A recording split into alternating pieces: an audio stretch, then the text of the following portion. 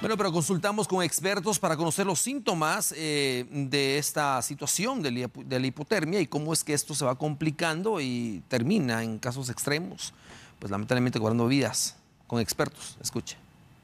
Es un tema muy importante ahorita porque como sabemos entramos a una época donde hay más frío. Y hay una situación, es que una cosa es que tengamos una temperatura en el ambiente y otra es la sensación térmica que podemos sentir lo cual la gente puede experimentar cuando está dándole el sol, pero también puede estar en un área asombreada y puede empezar a bajar la temperatura. El cuerpo humano mantiene una temperatura usual de 37 grados centígrados.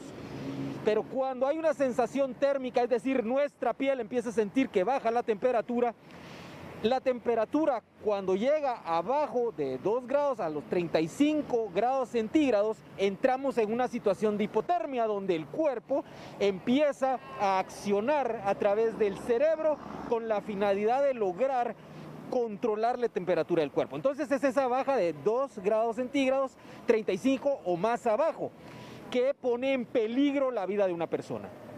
¿En qué momento ya corre peligro la persona y cuáles son los síntomas principales que se podrían manifestar? Bueno, yo creo que lo primero la gente puede alertar que cuando siente, tiene esa sensación térmica de que hay frío y observa, lo que pasa usualmente que observa una persona tirada, lo que va a encontrar es una persona que tiene estado de confusión, una persona que probablemente va a tener los labios azules, dificultad respiratoria y al tacto va a estar fría. Esos son los tres aspectos principales que uno va a notar en una persona que está entrando en hipotermia. ¿Cómo auxiliarlos de inmediato? Esto es una pregunta muy buena en relación a qué tenemos que hacer porque la gente quiere calentarlos inmediatamente. Y deben entender que por el proceso de la hipotermia es necesario trabajar de una manera escalada lo que tiene que ser el, el calentamiento de esa persona. Es decir, no hay que darle inmediatamente líquidos, no hay que poner como por ejemplo una secadora o, lo que le llama de las secadoras de pelo, tratar de calentarlo, porque eh, eso abruptamente puede llevarlos en un momento dado a un estado peor. Entonces lo que se recomienda normalmente es que si esa persona está empapada o mojada, se le tiene que quitar la ropa.